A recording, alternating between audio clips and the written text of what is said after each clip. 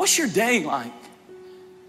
If He's not in your day, if He's not in your schedule, if there's no prayer time, if there's no Bible reading, if there's no feeding of your spirit, if there's nothing that hardly acknowledges God all week long, all you are is a, is a trunk Christian. You, you have Him in the car, in the trunk, and you pull Him out happy hour every Sunday morning. I'm telling you that He will affect your schedule. Every day there ought to be a prayer place. Every day there ought to be time spent in the Word. Did you know that if you'll read the Bible 15 minutes a day, you can read the entire Bible through every year? It doesn't take huge amounts of time, but it's just scheduling it in and saying, you know, I must read the Bible and I must pray. These are important things. And if you'll do it, if you'll read the Word, the Word will read you. And dusty Bibles lead to dirty lives. And if you'll read this book, it'll clean you, it'll clean cleanse you, it'll sanctify you, it'll set you free, it'll help you, it'll strengthen you. And you may not need that word that you read that morning. You, it may mean, or that night when you go to bed and you open it up, it may mean nothing to you. You just read it. But the next day at about three o'clock, when all hell's breaking loose, and the Holy Spirit will remind you of the very words you read last night no weapon formed against you shall prosper. And suddenly a confidence comes because you've had Him in your schedule. When you wake up in the morning, don't have a prayer list. Have a list that says this This is what's bothering me today. Have you ever tried to pray and your mind wanders? You know what your mind is wandering to? What you really ought to be praying about. And your mind is wandering at this anxious thought about money or something, and you're trying to be religious and pray these nice prayers. You'll either pray or you're worried. And your old worry list is your new prayer list. Consult the Lord, pray about it, ask Him, ask Him. That's your duty, that's your responsibility to ask the Lord about everything. Before you buy a house, consult the Lord. Pray about it. I don't want anything that He doesn't want me to have. I know that what He gives me, He will maintain, He will take care of. I don't want it to become a problem because I didn't consult the Lord. That's why it's so important just to maybe at the beginning of the morning to spend some time in worship. Spend some time in your car saying, God, today I consult the counsel of the Lord and I don't know what I'm going to face, but I just ask you to give me wisdom and I just ask you to make me spiritual today. And I just ask you to wake up my spirit and my ear to hear because I really don't want to lean on my own understanding, but in all my ways I acknowledge you and you will direct my path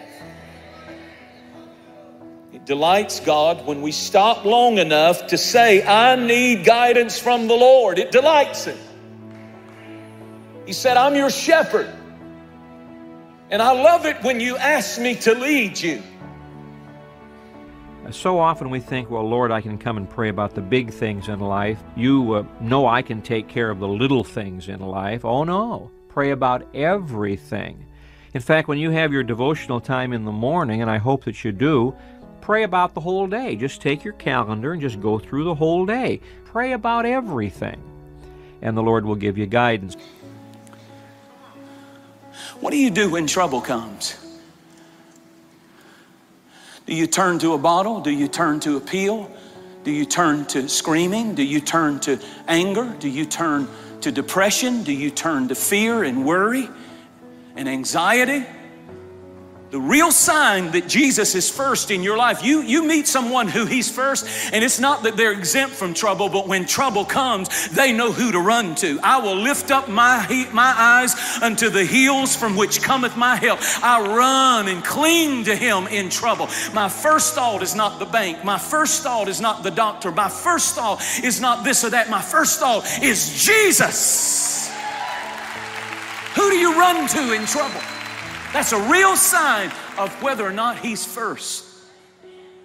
And when He's first, He will bless you in ways that will astound you. What if you would decide today to give God your all? I mean, is that's it. I'm gonna, I'm making the commitment, I'm going all out for God. And you're either looking at the enemy or you're looking at the angels. You're looking at the problem or you're looking at the promises. And one thing that we need if we're going to live a victorious powerful life is the right perspective. You have to see what God sees. No matter what you're going through, don't get your eyes on the littleness of your problem. He's working all things. There's a big picture to every trial, to every challenge, to every adversity we go through. There's a big picture, and He's working all things together for the good to them that are called according to His purpose. Perspective is important, and pray every day God God, show me the big picture. Show me and help me to keep seeing the big perspective of what you see, not just the temporal situation that is, that is causing me to be fearful and worried. Get God's and see God's perspective. If you want victory in your life, you've got to constantly pray, Lord, open my eyes and let me see the best and let me see the good and let me see the bigness of what your plan and purpose is for my life. Did you this morning get up and saying, I am commanded by God to restir my joy, to rejoice? When you come to a place in your life where you face important decisions, can't afford to use your intellect alone. We're supposed to be guided by the Holy Spirit. We are supposed to seek the counsel of the Lord on everything. You have to learn to ask before you act. You have to learn to ask before you get in covenant with people, before you start businesses, before you do things, and then you just expect and hope that God will back you up. If you're picking a spouse to marry, better consult the Lord. You better ask the Lord's counsel. Should I take that job? You better ask the counsel of the Lord. And this sounds so silly, but I'm amazed at how prayerless we become. I'm amazed at how many, even in my life, how many decisions I make and I haven't even asked the counsel of the Lord. And the Lord said, Now you can't afford to be making intellectual decisions because you think you know everything. I need you. I wait on you to wait on me.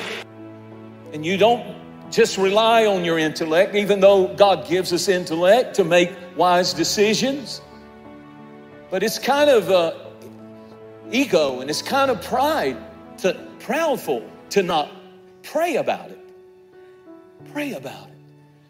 If you will seek his counsel, God already has a solution. If you will seek his counsel, God already has a procedure. There's an unseen hand that wants to guide our lives. And I wonder if most of the problems that we face could not be solved and we wouldn't get in them but we did not consult the Lord. If you've got a prayer place, and if you don't have one, get one. Because when you go there, that is holy ground, and God knows that you're very present. In other words, you're saying, This is so important that I'm coming and I'm waiting. I'm not telling you what to do, nor am I asking you for anything. I'm waiting on you. When we stop working, God starts working. When we stop working, God starts working. When we stop working, God starts working. But when you stop and you say, Here I am, I'm wrestling with a lot of stuff. I really need wisdom. I really need you to do your will. I don't even know what path I need to take. But I'm waiting on you.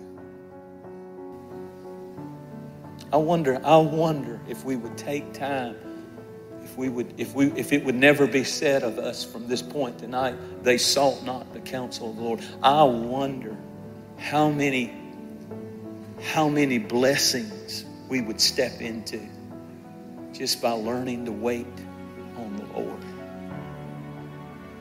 To spend time in His presence.